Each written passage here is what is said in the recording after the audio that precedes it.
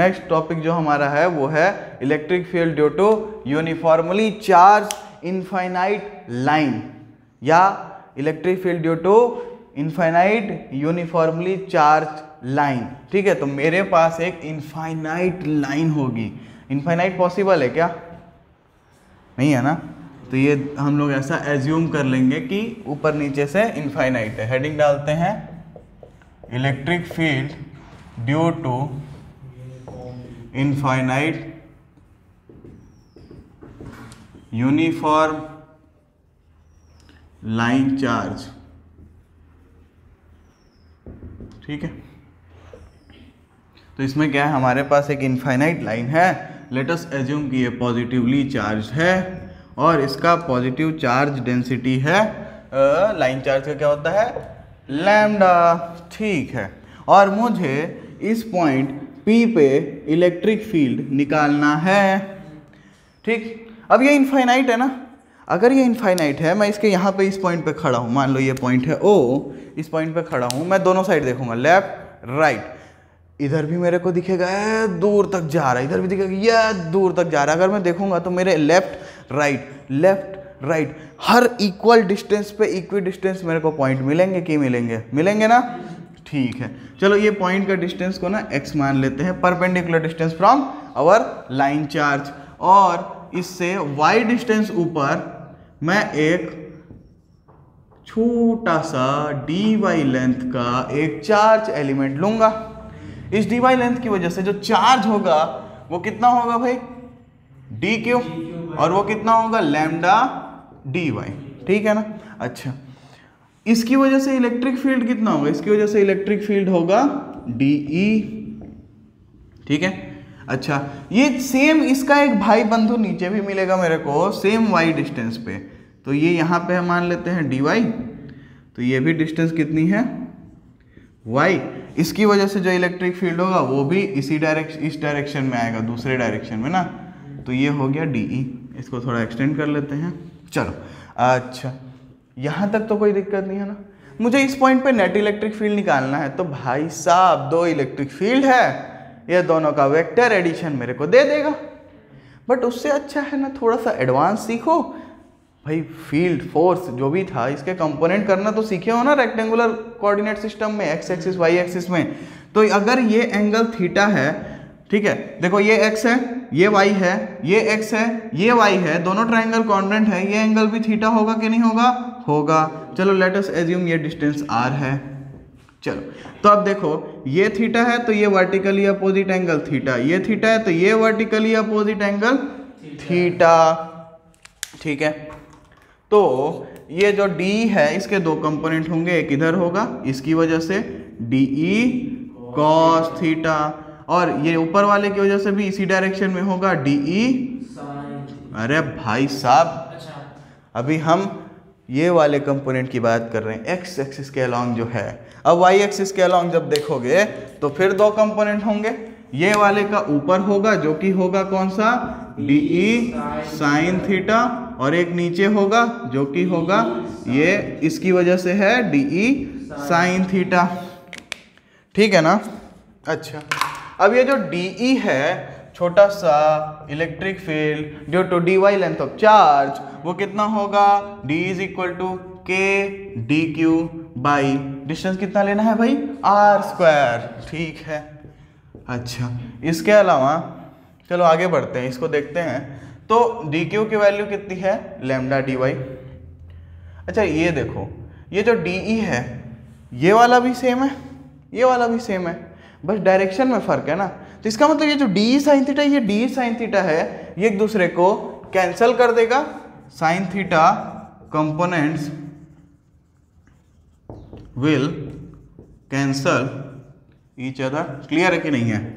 अच्छा तो हमको बचेगा क्या? हमको बचेगा, ये भाई साहब कैंसिल कर देंगे एक दूसरे के वजूद को, और हमको सिर्फ़ जो इलेक्ट्रिक फ़ील्ड मिलने वाली है, वो मिलेगी एक्स एक्सिस पे, जो कि होगी। देखो दो है दो है two d E cos theta. Simple एकदम एकदम। चलो भाई डी का वैल्यू ले आओ। Two k d q by r square cos theta चलो टू के डी क्यू की value lambda d y r square cos theta अच्छा यहाँ तक तो दिक्कत नहीं है। और मुझे करना क्या पड़ेगा? मुझे इसको इंटीग्रेट करना पड़ेगा, है कि नहीं? कहाँ से कहाँ तक भाई? तो मेरा इलेक्ट्रिक फ़ील्ड जो है वो कैसे वेरी करेगा? माइनस इन्फिनिटी से इन्फिनिटी बट मैंने इसका भी इन्फ्लुएंस लिया है, इसका भी लिया है। तो ये दोनों अगर साथ में जाएँगे तो ये ज़ीरो से स्टार्ट करके इन्फिनिटी तक जाएँगे, मेरा पूरा लाइन कवर हो गया। अगर मैं केवल एक लेता तो मैं सिर्फ़ डी कॉस थीटा लेता, दूसरे को नहीं लेता, और मेरा लिमिट होता माइनस इन्फिनिटी से इन्फिनिटी तक पूरा जाना पड़ता। मैं अगर दो ले रहा हूँ, दोनों का इन्फ्लुएंस तो दोनों यहाँ से शुरू करेंगे और इन्फिनिटी तक जाएँगे और पूरा लाइन कवर हो गया। तो इसका मतलब मेरा जो लिमिट होगा, वो ज़ीरो से इन्फिनिटी होगा। क्लियर है ना? कुछ लोग इसको माइनस इन्फिनिटी से इन्फिनिटी ले सकते हैं बट वो क्या करेंगे? इस टू को नहीं लेंगे। अगर जो मैथ्स वाले बच्चे हैं इसको और अच्छे से समझेंगे कि माइनस इन्फिनिटी से इन्फिनिटी है हमारा ये जो इलेक्ट्रिक फ़ील्ड है सिमेट्रिकल मिलने वाला है तो इसकी वजह से क्या होगा, ये हमारा जो है, ये इवन कंपोनेंट होता है तो क्या लिख सकते हैं इसको हम लोग? Two into zero to infinity ये हमने डेफिनेट इंटीग्रेशन में देखा हुआ है। ठीक? ये बायो वाले उतने अच्छे से नहीं कर सकते तो इसलिए मैं इसको यूज़ करता हूँ, ताकि तुम लोग आराम से समझ सको। तो यहाँ तक कोई दिक्कत नहीं है, और मुझे इसको इंटीग्रेट करना है ज़ीरो से इन्फिनिटी ज़ीरो से इन्फिनिटी अच्छा तो ये जो कांस्टेंट है इसको तो बाहर फेंक दो। टू के लेमडा बाहर चले जाएगा। ज़ीरो से infinity lambda d y by r square cos theta अच्छा अच्छा अच्छा। लेमडा बाहर चले गया। अच्छा अच्छा मिस हो गया। ये देखो वहाँ देखो। ये आर है। अब ये पाइथागोरस थ्योरम यूज़ करोगे अगर तो क्या लिख सकते हो? X square plus y square is equal to r square है ना? तो इसका मतलब ये आर स्क्वायर को मैं सब्सटीट्यूट कर सकता हूँ क्या x square plus y square से? एकदम कर सकता हूँ भाई। वाई स्क्वायर अब देखो अभी मेरा जो डी वाई है ये भी वाई है बट थीटा भी वेरी करेगा। जैसे ये लेंथ ऊपर जाओगे तो एंगल भी बढ़ेगा और वाई भी बढ़ेगा। तो मैं इसको एक वेरिएबल में ला सकता हूँ क्या? ला सकता हूँ। बड़े आराम से देखो कैसे ये। अगर मैं देखूँ यहाँ पे ये मेरे पास है कॉस थीटा अगर मैं इसमें देखूँ, मैं अगर टेन थीटा लिखूं, मुझे क्या मिलेगा? परपेंडिकुलर अपन बेस पंडित बद्री प्रसाद हरी हरी बोल। तो परपेंडिकुलर अपन बेस थीटा के लिए परपेंडिकुलर होगा वाई और बेस होगा एक्स तो वाई अपॉन एक्स तो मैं वाई को क्या लिख सकता हूँ? एक्स टेन थीटा और डी वाई को क्या लिख सकता हूँ? X sec square theta d theta tan theta का डिफ्रेंशिएशन सेक्स स्क्वायर थीटा दोनों साइड डिफरेंशियल ले रहे हैं तो ये डी वाई होगा और ये डी थीटा होगा। क्लियर है ना? अच्छा। ये y को यहाँ पुट करके देखो जरा थोड़ा सा तो। तो x square plus x tan theta का square is equal to r square ये क्या होगा? X square one plus tan square theta is equal to r square. अच्छा ये one plus tan square theta, tenth में ट्रिग्नोमेट्री में पढ़े थे ना, क्या होता है? Sex square theta. क्लियर है? तो चलो, यहाँ थोड़ा सा सब्सटीट्यूशन करते हैं। यहाँ पे थोड़ा सा सब्सटीट्यूशन करते हैं। तो हमारा इनट जो आ रहा था, टू के लेमडा बाहर, integration from zero to infinity x square plus y square. तो हमने तो x square plus y square जो आर स्क्वायर है, उसको एक्स स्क्वायर से x square theta already prove कर दिया है ना? तो मैं डायरेक्ट लिख दूँ यहाँ पे। और डी वाई की वैल्यू देखो x x square theta d theta है। X sec square theta d theta और x square plus y square को हमने क्या प्रूव किया x square sec square theta उसको भी लिख दो। क्लियर है? अच्छा। और बच गया क्या यहाँ पे ये? कॉस थीटा इसको भी ले आओ। अब देखो यार, ऐसा है। यहाँ पे मेरा पूरा का पूरा जो लिमिट है, ये किसमें आ चुका है? सब कुछ थीटा में है। मेरे पास वाई है ही नहीं। इसका मतलब ये लिमिट मैं यूज़ नहीं करूँगा। मुझे क्या करना पड़ेगा? लिमिट को चेंज करना पड़ेगा। किसमें थीटा के टर्म्स में। तो देखो, हमको कैसे चेंज करना है भाई? वाई का हमको मालूम है। वाई कहाँ से कहाँ जा सकता है? तो हम देखे थे वाई ज़ीरो से स्टार्ट होगा। और वाई की वैल्यू क्या है? X tan theta hmm? Y की वैल्यू है एक्स टेन थीटा और y की वैल्यू एक हो सकती है ज़ीरो तो थीटा कितना होगा? देखो यहाँ से इससे ना पहले थीटा निकाल लो। तो tan theta is equal to y by x अच्छा तो जब y जाएगा ज़ीरो तो टेन थीटा कितना जाएगा? ज़ीरो तो थीटा कितना जाएगा? टेन ज़ीरो ज़ीरो होता है। हाँ भाई ठीक? अच्छा इसको ना ऊपर लिखो यार। जगह नहीं बनेगा फिर। इसको ना कहाँ लिखें? यहाँ पे लिखते हैं। तो देखो जब y जाएगा ज़ीरो तो टेन थीटा जाएगा ज़ीरो तो थीटा जाएगा ज़ीरो ये क्लियर अच्छा और जब y जाएगा इन्फिनिटी तो टेन थीटा जाएगा इन्फिनिटी और टेन थीटा इन्फिनिटी मतलब नॉट डिफाइंड कब होता है? पाई बाई टू पे। कब होता है? पाई बाई टू पे, अगर तुमको नहीं समझ में आया, इस चीज़ को अगर नहीं रिकॉल कर पाओगे तो सोचो, ये जाएगा वाई इन्फिनिटी पे। ये वाई इन्फिनिटी पे जाएगा, ये ऐसे बढ़ता जाएगा बढ़ता जाएगा बढ़ता जाएगा, एक टाइम कैसा आएगा? ऐसा लगेगा ना, ये ऊपर एकदम चला गया 90 डिग्री बना रहा है इन्फिनिटी पॉइंट पे। ठीक? तो इसलिए पाई बाई टू तो अब हमारी जो लिमिट है, वो क्या हो जाएगी? ज़ीरो से पाई बाई टू चलो तो टू के लेमडा देखो ये x square theta x square theta खत्म। ये एक एक्स इस स्क्वायर को खा जाएगा। और एक्स भी तो हमारा फिक्स है ना? तो एक्स भी बाहर चला जाएगा। तो क्या बचेगा? Zero to pi by two cos theta d theta. चलो two k lambda by x okay cos theta का इंटीग्रेशन साइन थीटा। तो साइन थीटा ज़ीरो से pi by two. Upper limit minus lower limit करते हैं तो sine pi by two minus sine zero, sine pi by two कितना होता है? Sine ninety? होता है वन। साइन 90 होता है वन और ये होता है ज़ीरो। हमको क्या मिला? टू के लेमडा बाई एक्स। ये क्या मिला? Electric field. क्लियर? तो ये पॉइंट पी का इलेक्ट्रिक फ़ील्ड है। बड़े आराम से समझ में आ गया? अच्छा तो अब देखो क्या है? फाइनल आंसर इसमें नहीं लिखना। फाइनल आंसर के लिए के को पुट कर दो। One by four pi four pi epsilon naught x. Two से टू को काट दो और ये तुमको बुक में आंसर दिखने वाला है। Two pi epsilon naught x. अब देखो भाई, कई लोग होंगे कंफ्यूज कि सर आप एक्स लाए हो, बुक में वाई लिखा हुआ है तो भाई कुछ नहीं है। वो इसने, हमने क्या किया? वाई एक्सिस पे रखा है अपने लाइन चार्ज को। बुक ने क्या किया होगा? एक्स एक्स एक्सिस पे रख दिया होगा लाइन चार्ज को। तो वो जब एक्स एक्सिस पे रखेगा तो उसको वाई डिस्टेंस में मिलेगा।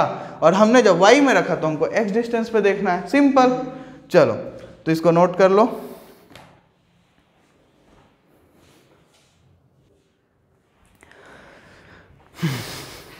तो नेक्स्ट डेरिवेशन स्टार्ट करते हैं।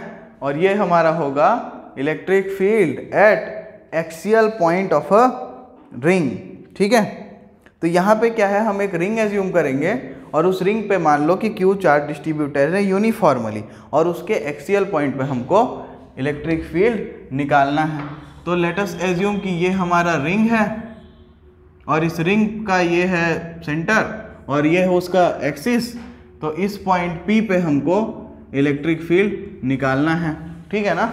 अब इस रिंग का रेडियस ले लो ए और ये डिस्टेंस को ले लेते हैं, चलो एक्स तो ये देखो, ये जो होगा, ये यहाँ पे एक छोटा सा dl एलिमेंट होगा, जिसका चार्ज होगा dq अरे हेडिंग तो लिख लेते हैं पहले। तो electric field at axial point of uniformly charged ring. Okay हाँ तो हमारे पास क्या क्या था? हाँ ये रिंग है हमारा, इसका रेडियस है ए और क्या हो गया? डी एल एलिमेंट हमने यहाँ एक एज्यूम कर लिया, जिसकी वजह से इलेक्ट्रिक फ़ील्ड यहाँ पे होगी डी ई क्लियर ये डिस्टेंस को चलो आर ले लेते हैं। तो इसके जैसा एक सेम इसका भाई बंधु होगा यहाँ पे अपोजिट एंड पे रिंग के डायमेट्रिकली अपोजिट एंड पे सेम चार्जेस मिलेंगे, है ना? तो इसकी वजह से इलेक्ट्रिक फ़ील्ड होगा, इधर डीई फिर से क्या होगा भाई? फिर से क्या होगा? इनके होंगे कंपोनेंट्स तो लेटस एज्यूम कि ये वाला एंगल है हमारा थीटा तो देखो यार, ये सिमेट्रिकल रिंग होगी तो ये एंगल भी तो थीटा होगा और ये दोनों भी थीटा थीटा थीटा सब कुछ थीटा तो अब क्या करें? इनके कर देते हैं कंपोनेंट्स तो एक कंपोनेंट होगा डी इस डी का, इधर कितना होगा? डी ई कॉस थीटा इसका होगा, इधर ही होगा same d E cos theta अच्छा। अब इनके जो परपेंडिकुलर कंपोनेंट्स होंगे वो कौन से होंगे? तो एक होगा इधर डी ई साइन थीटा और एक होगा नीचे डी ई साइन थीटा चलो लेट अस एज्यूम कि इस पूरे रिंग पे है टोटल चार्ज क्यू इस रिंग पे टोटल चार्ज है क्यू और इस रिंग का के लेंथ पे डिस्ट्रीब्यूटेड है। मतलब टोटल लेंथ कितना होगा जितना इसका सरकमफ्रेंस है। तो सरकमफ्रेंस कितना है? टू पाई रेडियस है ए मतलब टू पाई ए तो क्यू चार्ज डिस्ट्रीब्यूटेड है टू पाई ए पे. तो मैं इसको लिखूं कि अगर टू पाई ए पे क्यू चार्ज है तो यूनिट पे कितना होगा? Q upon two pi a मतलब इसका जो ये लीनियर चार्ज डेंसिटी लैम्डा है, ये मिल गया मुझे q by two pi a अब इस डी क्यू की वजह से यहाँ पे इलेक्ट्रिक फ़ील्ड है डी ई तो इस डी क्यू की वैल्यू को डी ई को मैं क्या लिख सकता हूँ? K d q by r square एकदम सिंपल। अच्छा। अब देखो भाई फिर से sine theta components will cancel each other same है पिछले डेरिवेशन का। मतलब देखो, जो फ़र्स्ट डेरिवेशन है ना, वो थोड़ा सा मज़ेदार था। अब उसके आगे जितना आने वाला है ना, आगे पूरा पूरा पूरा इलेवेंथ पूरा इलेवेंथ बोलो पूरा ट्वेल्थ का जितना भी डेरिवेशन इसके बाद आएगा ना, उससे आसान ही होगा। तो उसको अगर अच्छे से समझ लिए तो आगे के सारे डेरिवेशन आराम से कर सकते हो। विल कैंसल ईच अदर ठीक? इनको कैंसल करा दो भाई। ठीक? अब जो नेट इलेक्ट्रिक फ़ील्ड होगी ई नेट वो कितना होगा? वो होगा डी कॉस थीटा इस डायरेक्शन में। अब देखो, यहाँ पे भी सेम टाइप का चीज़ सोचो। मैं ना टू डी कॉस थीटा लिखूँगा। और मुझे ये दो है ये दो इनको घुमाऊँगा देखो ये आधा घूमेंगे और पूरा सर्कल कवर हो जाएगा है ना? लेकिन मेरे को ये पसंद नहीं आया इंटीग्रेशन क्योंकि दो लिमिट लेनी पड़ेगी। तो मैं क्या करूँ एक को ले लूँ और ज़ीरो से टू पाई ये घुमा दूँ क्या? पूरे सरकम पे एक को घुमा दूँ। तो इसका मतलब मैं डी कॉस थीटा दो बार यूज़ ना करके सिर्फ़ एक ही बार यूज़ करूँ और ये हो जाएगा हमारा डी ई कॉस थीटा ठीक है, इसको हम अगर इंटीग्रेट कर दे तो हमको नेट इलेक्ट्रिक फ़ील्ड मिल जाएगा। अब इसके लिए लिमिट क्या लेने वाले हैं? ज़ीरो से टू पाई ए तक। ठीक है डी की वैल्यू आपने देख चुकी देख लो, देख लिया है ऊपर। क्या है? K d q by r square cos theta r square को क्या लिख सकते हो? पाइथागोरस थ्योरम यूज़ करो। A square plus x square is equal to r square देखो, ये दोनों कांस्टेंट हैं। ये दोनों कांस्टेंट हैं, ठीक है ना?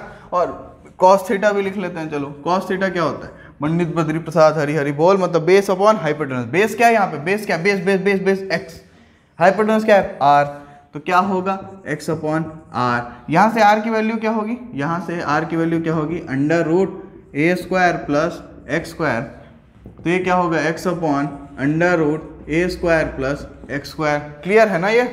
चलो पुट करते हैं। तो क्या होगा? इंटीग्रेशन ज़ीरो से two pi a k d q D Q कितना है भाई अपना ऊपर देखो, ये कहाँ गया? अरे डी क्यू को तो हमने लिखा ही नहीं। तो डी क्यू क्या होगा? D q will be equal to lambda d l okay और लेमडा की वैल्यू कितनी है आपके पास? लेमडा की वैल्यू कितनी है? क्यू बाई टू पाई है और ये कितना है? डी एल तो डी क्यू की वैल्यू पुट कर देते हैं q upon two pi a d l cos theta भी पुट कर देते हैं ना? कॉस थीटा निकाल चुके हैं ना? एक एक स्टेप करो। तो ये हो गया। आर स्क्वायर की वैल्यू क्या है? A square plus x square और कॉस थीटा की वैल्यू क्या है? X upon under root a square plus x square देखो अंडर रूट को मैं क्या करूँ? डरने की ज़रूरत नहीं है। अंडर रूट को लिख दो ए स्क्वायर प्लस स्क्वायर का पावर हाफ़ ये देखो, अंदर सेम सेम तो ए स्क्वायर ए की पावर एम इंटू ए की पावर एन का फॉर्मूला यूज़ अगर करोगे तो तुमको बड़े आराम से मिलेगा। तो ये देखो के भी कांस्टेंट है क्यू भी कांस्टेंट है एक्स भी कांस्टेंट है टू कांस्टेंट है पाई कांस्टेंट है ए कांस्टेंट है ए पूरा सब कांस्टेंट सब कांस्टेंट को बाहर फेंको। ठीक? तो क्या मिलेगा? ज़ीरो से कांस्टेंट को बाहर फेंके ना तो बाहर तो लिखने दो। तो क्या क्या है भाई? के बाहर आया क्यू बाहर आया एक्स बाहर आया टू पाई ए बाहर आया और a square plus x square का power one plus one by two one plus one by two three by two और इंटीग्रेशन ज़ीरो से two pi a d l okay k q x by two pi a a square plus x square का power three by two अब d l का integration क्या होगा? L limit क्या होगी? Zero से two pi a zero put करने कोई मतलब तो है नहीं. माइनस ज़ीरो क्या फ़र्क पड़ता है? मत लिखो। तो क्या हो जाएगा? K q x by two pi a a square plus x square का पावर थ्री बाई टू और इंटू टू पाई ए अरे, ये तो चमत्कार ही हो गया यहाँ पे, देखो। खत्म। तो इसका मतलब इलेक्ट्रिक फ़ील्ड कितना आया? K q x upon a square plus x square का power three by two k की वैल्यू भी पुट कर दो यार. फोर पाई एप्साइलन नॉट अरे तो पिछले वाले से बहुत ज़्यादा आसान निकला. निकला कि नहीं निकला? अच्छा अब इसमें ना एक स्पेशल केस देख लो. स्पेशल केस देख लेते हैं. स्पेशल केस ये है. क्या है? स्पेशल केस ये है ना कि अगर मैं रिंग से बहुत दूर चले जाऊँ मतलब जो डिस्टेंस मेरा है, वो रिंग के रेडियस के कंपैरिजन में बहुत ज़्यादा है तो a is very very smaller than r तो इस केस में क्या होगा कि मैं ए स्क्वायर को, यहाँ पे जो ए स्क्वायर है, इसको एक्स स्क्वायर के कंपेरिजन में निगलेक्ट कर सकता हूँ। तो मेरा इलेक्ट्रिक फ़ील्ड जो हो जाएगा, वो क्या हो जाएगा? Q x by two pi sorry two नहीं four pi epsilon naught a square a square गायब हो जाएगा मतलब क्या हो जाएगा? एक्स स्क्वायर का पावर थ्री बाई टू। अब आपने ये वाला फॉर्मूला देख रखा है ना, ए की पावर एम की पावर एन क्या होता है? ए की पावर एम एन इसको जानते हो? तो इसका यूज़ कर लो यहाँ पे, और यहाँ पे देखो, टू और टू कट जाएगा। क्या मिलेगा? X cube. क्या मिलेगा? X cube. और फिर ये एक्स क्यूब, एक एक्स यहाँ से कट के क्या मिलेगा हमको? एक्स एक्स स्क्वायर तो ये एक स्पेशल केस है कि electric field at a very far away point at on axis of the ring क्या मिलेगा? देखो q by four by f naught x square clear है ये? तो इस क्लास में इतना ही रखते हैं। नेक्स्ट क्लास में हम लोग देखेंगे इलेक्ट्रिक डाइपोल दो अपोजिट चार्जेस को साथ में रखेंगे तो उसको हम लोग बोलते हैं इलेक्ट्रिक डाइपोल तो उस चीज़ को और उसके आगे के पूरे फिनोमिना को आगे देखने वाले हम लोग। ठीक है?